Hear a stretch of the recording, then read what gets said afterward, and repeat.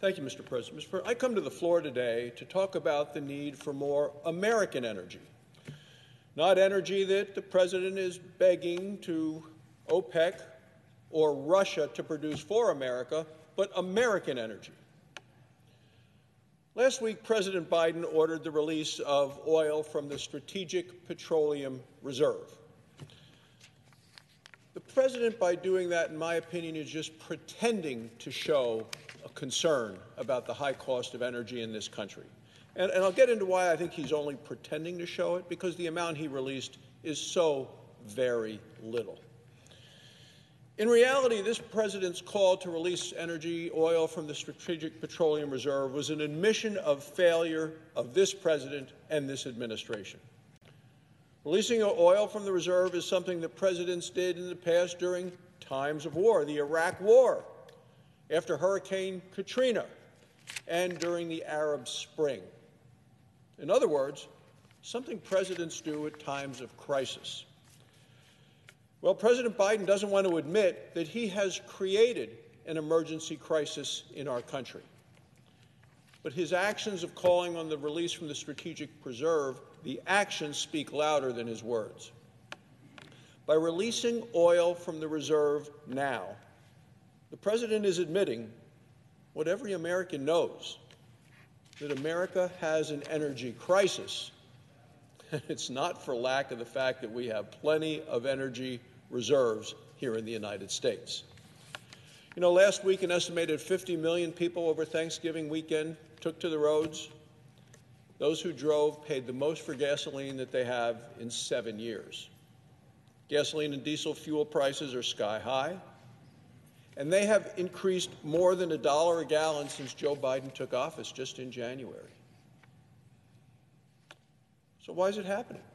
Well, it's economics 101, really. You have demand, you have supply. Demand is up, supply is down. With the end of the lockdown, demand for gasoline has increased as people took to the roads.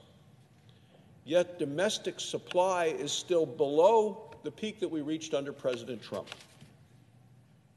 The Biden administration wants us to believe that releasing oil will solve the problem when he taps the strategic reserve.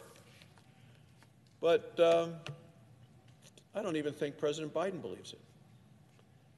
I'm not sure they actually know what they're doing. If you watch that press conference with the Secretary of Energy last week, she was asked how much oil the American people use.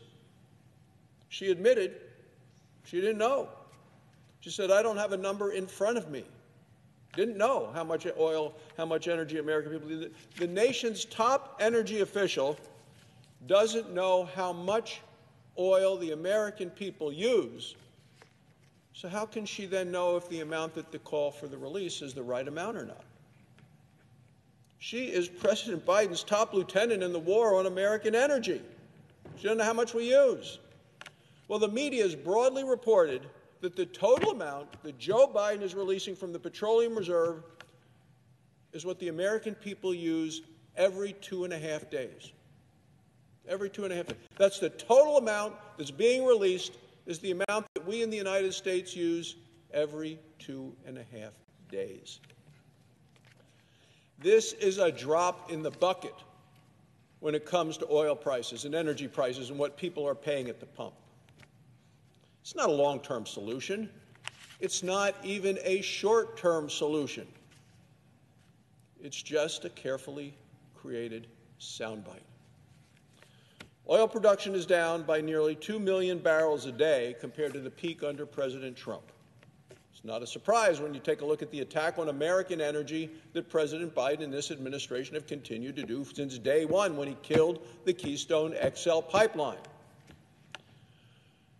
So, what's the administration also announced last week? Without any fanfare, without the president making a statement at the White House, oh, the Department of Interior said, oh, by the way, the American people, we're going to do this the day after Thanksgiving when you're busy doing other things, maybe going shopping, doing other things, not paying attention to the news of the day. This administration called for additional fees, more taxes, more expenses on oil and gas leases on federal land. That impacts my state dramatically. This is in addition to the fees that the president is also including in this massive tax and spending bill that the Senate is going to be considering. This is also Economics 101. Higher fees on the cost of producing oil means higher prices for people at the pump. Astonishing. Making it harder to produce and more expensive to produce American energy. Begging OPEC and Russia to produce more to sell to us. A jackpot for Vladimir Putin. So if President Biden and his Department of Interior get their way, the prices will go up even higher. Inflation is here to stay under the Democrats. The American people deserve better, deserve real solutions than this energy crisis that this administration has created. Higher fees are only going to get passed on to consumers. Instead of spending our savings, we should be producing more American energy. Why are we sending this money to Vladimir Putin and begging him to pay to produce more so we can send him even more money? That's the policy of this administration. Today, I am introducing legislation that says an administration needs to develop a plan to increase oil and gas production anytime an administration taps the reserve unless there is an energy supply emergency, like Katrina, like a war.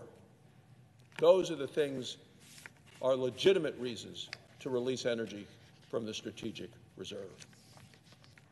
The reserve is for emergencies, not for sound bites. Not supposed to be a band aid for bad policies.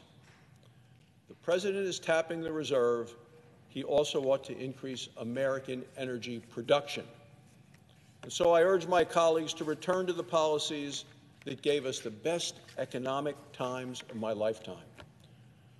Return to the policies that made us energy independent as a nation for the first time in 70 years.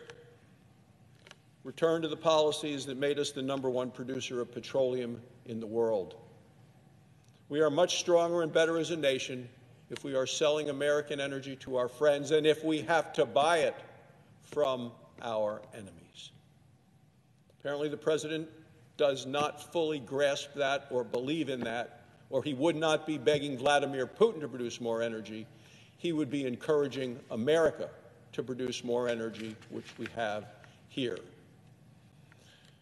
Time to stop the restrictions on energy production Time to stop the rush to raise billions in taxes. Time to stop the president and the Democrats' declared war on American energy. Thank you, Mr. President. I yield the floor. Suggest the absence of a quorum.